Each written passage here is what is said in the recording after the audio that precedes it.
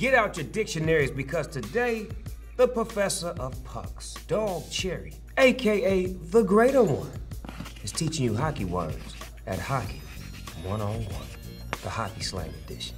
Hockey players and fans have created some crazy words over the years, but don't worry, I'm breaking them down from A to Z.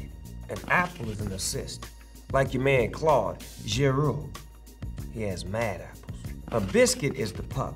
All these food words, I'm getting hungry talking about all this hockey stuff. Somebody bring me something to eat, a Danish or something. A celly is a hockey celebration after a big goal. Look, he's ice dancing.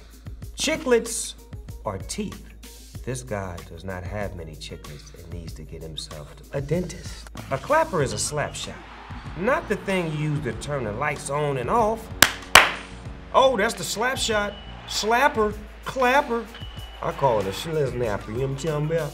The five hole is the space between the goalie's legs. Going five hole sounds dirty, but it just means scoring in the most humiliating way possible. In between the legs. In hockey, flow has nothing to do with rhyming. It's about wild hair. Like this guy has great flow. Lip lettuce is a mustache, also known as lip sweater or muzzy. A muffin is a weak shot on net. A pizza is a bad pass up the middle that's easily stolen. More food words, huh? Whoever came up with this got the munchies, and I need to see y'all in the green room. Pipes are the goalposts. I'll use it in a sentence. That guy hit the pipe. Let's talk about stoned. Well, stoned is when a goalie makes a great save. What did you think I meant?